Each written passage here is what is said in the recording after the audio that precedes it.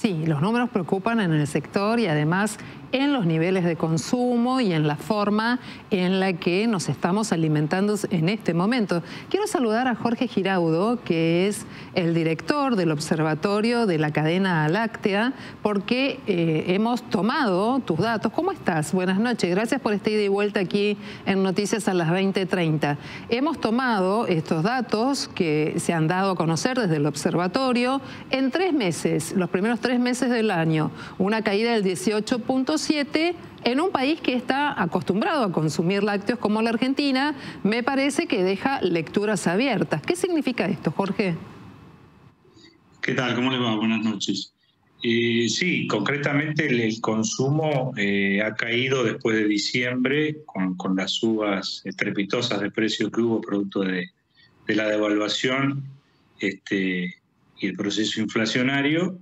Nosotros teníamos un consumo per cápita anualizado de más o menos 190 litros en el año pasado y en lo que va de este año hay una caída, bueno, ya tenemos el dato de abril, por suerte un poco menos de caída, 17, 16,9%, pero bueno, esto se dio sobre todo por la gran suba de precios, eh, sobre todo en la, cadena comercial que tuvo una remarcación, ustedes saben, digamos, que se ha tomado por ahí un tipo de cambio pensado en diciembre que iba a estar en dos mil y pico pesos, entonces los precios se remarcaron por encima y bueno, ahora se está produciendo un fenómeno de, ralentización de esos precios y una convergencia, pensamos nosotros, de los ingresos de la gente vía los acuerdos salariales para, para, compensar un poco eso y bueno, recomponer un poco el consumo. Los costos de producción del sector, del sector lácteo, ¿cómo se eh, están manejando en este momento? Y tengo curiosidad por conocer ¿Cuánto dinero recibe eh, un tambero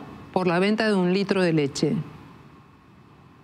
Bueno, el último precio vigente fue el de abril, 355 pesos más o menos. Este, venía con costo de producción complejos por, una seca muy grande que hubo en el año pasado y un arranque de este año con altos índices de temperatura y humedad.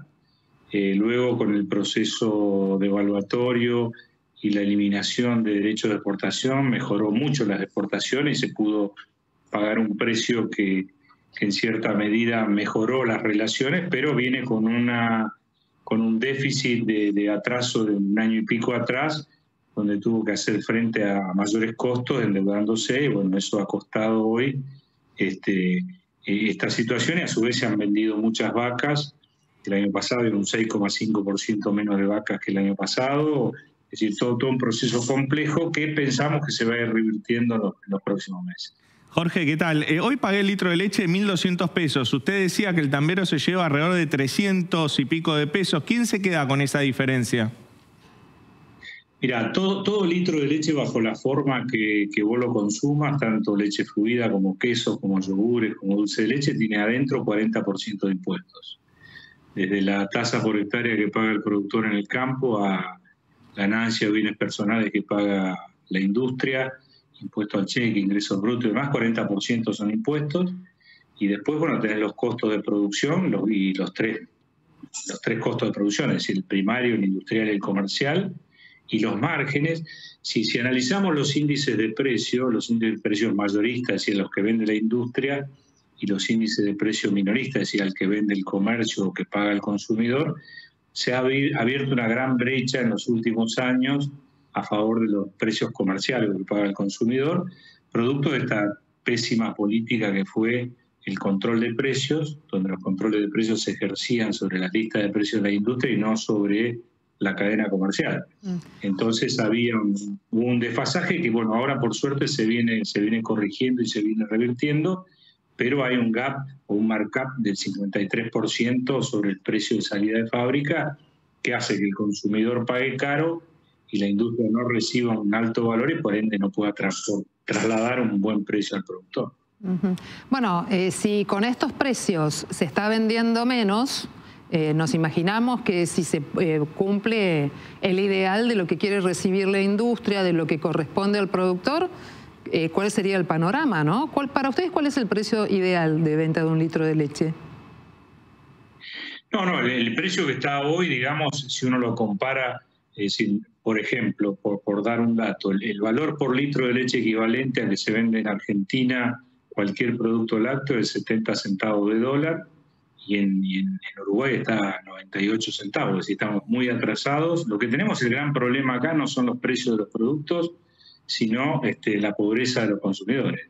Es decir, acá hay una cuestión que es, digamos, el bajo ingreso, medido en dólares, que, tiene la población argentina. Pensemos que el salario este, medio está en orden de los 400 a 500 dólares, lo cual evidentemente muestra a las claras que, no podemos pretender cobrar como vale en el mundo un dólar 10, un dólar 20 el litro de leche, como vale en todas partes del mundo y que está valiendo acá, con un salario de 400 a 500 dólares. Claro, sí, se entiende perfectamente. Jorge, ¿han cerrado tambos?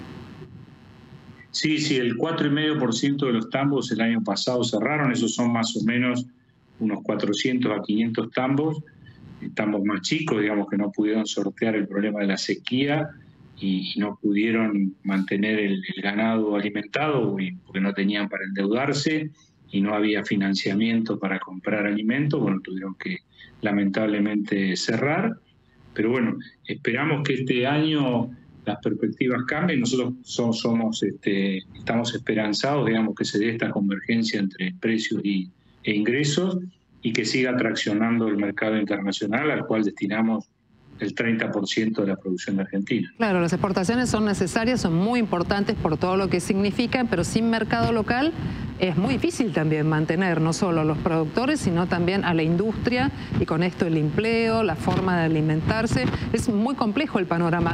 Eh, ¿El mercado de los quesos tienen algún dato con esto? Porque nosotros hablamos de la materia prima, pero la industria, yogur, queso, ¿qué pasó ahí? ¿Qué se sabe? Bueno, lo, que nosotros observamos ya desde hace un tiempo largo esta parte es una primarización del consumo, que decimos. Así se consume leche fluida, queso cremoso, queso barra y yogur bebible de litro y se han dejado de consumir los productos de mayor valor agregado y por ende mayor valor unitario. Se consume menos yogures en pote, flanes, postres, leches saborizadas, quesos duros, porque tienen un valor unitario muy bajo y, bueno, ya ha proliferado también, y esto hay que reconocerlo, los, productos, digamos, este, análogos. Es decir, empieza a aparecer, si usted va a un comedor y mira el sobrecito que le traen, dice rayado, pero no dice queso rayado, porque en realidad no es queso rayado, es un análogo han aparecido bebidas lácteas que tienen base suero, que no son leche. ¿Qué se toma cuando aparece un, sachet o un tetrabric que dice eh, bebida en base a producción láctea? Y nadie termina de comprender qué es. Claro, sí, o sea, hay que ver primero que, que sean productos que la mayoría son aprobados por el ANMAT, es decir, que esté autorizada su venta. Lo que sí hay que ser muy claro es que tienen que estar en la góndola muy distanciado de, los productos lácteos para que la gente no se confunda, porque por ahí una persona va y busca un tetrabric de esta leche análoga y vale 800 pesos y al lado tiene otra que vale 2.000. Mm. Entonces levanta la de 2.000 pensando que trae un alimento que va a cubrir la misma necesidad proteica que la leche, cosa que no existe. Y bueno, también pasa con, con los quesos que no son queso, o con, este, con los yogures que tienen la incorporación de otras cosas que están aprobados, pero no, no son productos lácteos y no tienen los mismos este, propiedades alimenticias que, los lácteos. Bien, Jorge Giraudo, le agradecemos mucho esta conversación. Quiero eh, marcar que estamos preguntando por los lácteos, no por las, bebidas que no tienen que ver, eh, las que son veganas, las que son jugos alternativos, sino que los productos que parecen un litro de leche y en realidad para muchos consumidores sin saberlo, llevan un producto que nada tiene que ver con esa producción original. Le agradezco mucho, estoy de vuelta. Buenas noches. No, un gusto y disposición para con ustedes. Muchas, muchas gracias.